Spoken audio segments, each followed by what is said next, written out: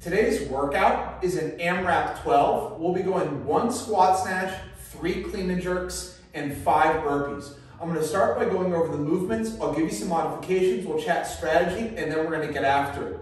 For the squat snatch today, we're gonna be taking this from ground to overhead, traveling below parallel every time. For the clean and jerk today, we're gonna utilize that rebounding clean and jerk. We're thinking jump twice, the first jump being into that quarter squat, second one finishing all the way up and overhead. For our burpees, it's chest and thighs touch the ground, small jump and clap overhead. Now, for modifications for the squat snatch, if you're not comfortable pulling from the ground, feel free to take these reps from position two or position one, just making sure that we travel below parallel.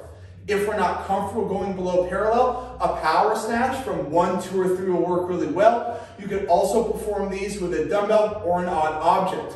For the clean and jerk, if we're not going overhead, you can certainly modify this for a power clean. We could also go with push presses or push jerks if we're not pulling from the ground.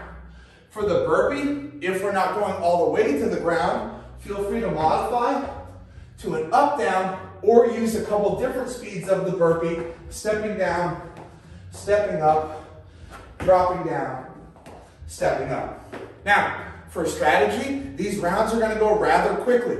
The weight prescribed today is at 155, 105. So although it's heavier, it's still something that you can move time and time again in this 12 minute AMRAP. We're aiming for something under one minute rounds.